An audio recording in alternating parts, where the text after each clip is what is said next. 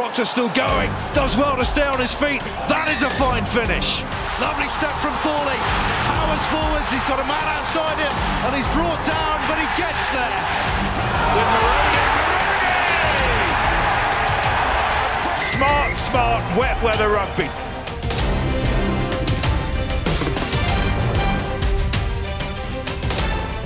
Really got into something of a rhythm. Coles frees his arms up. Proctor bursts forwards. Proctor still going. Does well to stay on his feet. That is a fine finish. Matt Proctor with the Northampton Saints seconds.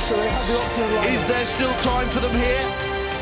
Exeter have really tackled incredibly well, but it just gets in between those two defenders.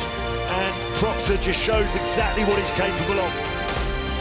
Maybe they can build from halfway. Harris pops it forwards and Thorley's away. Lovely step from Thorley. Powers forwards, he's got a man outside him and he's brought down, but he gets there. He gets there through momentum. Ollie Thorley back in the tries again at Kingsholm.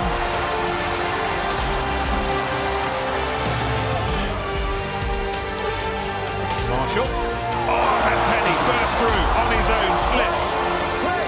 Well, that hopeful ball in field, but it worked out because Polframan was there to make sure that it did. Young over the top, Obatoy Imbo looking for some help, finds it with Moroni.